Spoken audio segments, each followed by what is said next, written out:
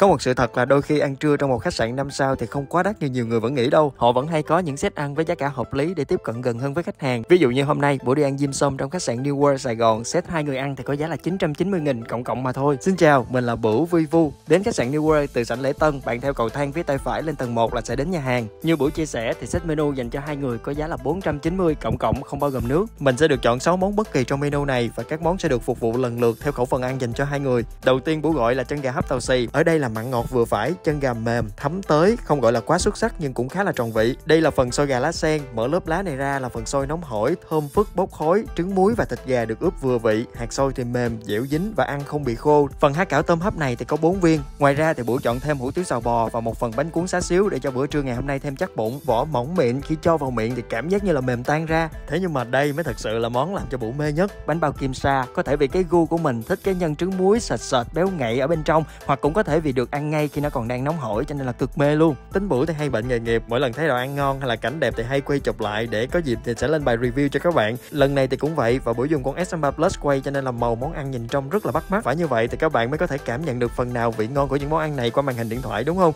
À có những bạn nói là buổi trưa như thế này làm sao mà no được, thì cái này cũng tùy vào sức ăn của mỗi người á. Bữa thì buổi thấy ổn, quan trọng bữa ăn này trong khách sạn 5 sao thì nó sẽ phù hợp với những cuộc hẹn bạn bè hay đồng nghiệp. Vừa có thể ăn trưa, vừa có thể thoải mái thư giãn trò chuyện với nhau trong một không gian sang trọng và tinh tế.